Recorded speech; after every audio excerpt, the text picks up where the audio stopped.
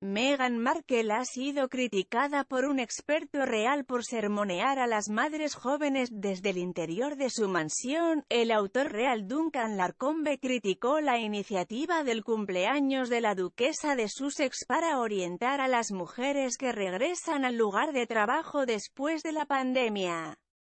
Larcombe afirmó que Meghan, que vive en California con el príncipe Harry después de dejar los deberes reales, debería estar tratando de tender puentes con la familia real.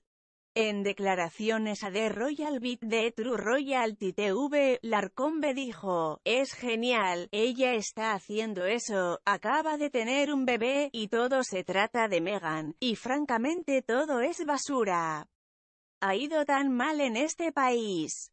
Ha dejado tras de sí un rastro de devastación en el lado de Markel, y ahora en el lado de Windsor.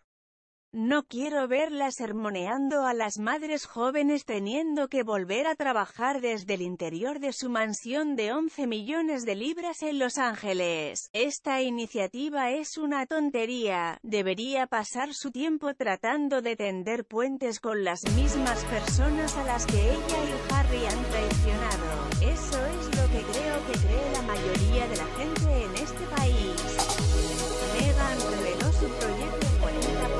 40 a principios de este mes para conmemorar su 40 cumpleaños.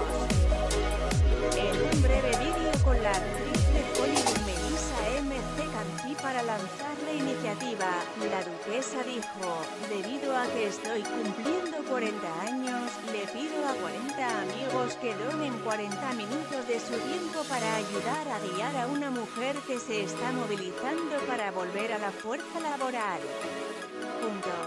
Más de 2 millones solo en los Estados Unidos. Y decenas de millones en todo el mundo han perdido sus trabajos debido a COVID y creo que si todos lo hacemos y dedicamos 40 minutos a algún tipo de servicio, podemos crear un efecto dominó.